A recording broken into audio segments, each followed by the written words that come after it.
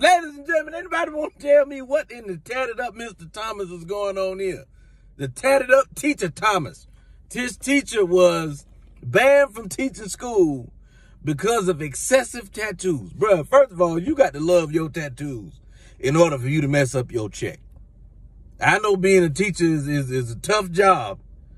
You know what I'm saying? But, but hey, that's, that's a check. And you get three months off out the year. My mama was a teacher. I know teachers that, yeah, it's, it's, it's a rough job. I mean, what, y'all think cause he, he might scare the kids? Let me tell you something. These kids ain't scared of nothing. They're not. I don't know what kids y'all thinking about. It might, he might scare some parents. These kids I see nowadays, them kids ain't scared of absolutely, positively nothing. Not nothing.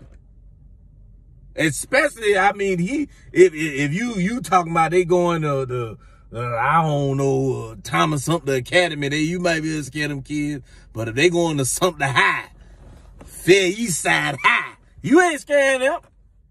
Them kids got tattoos too. 12 years old, tattoo. Yeah, is.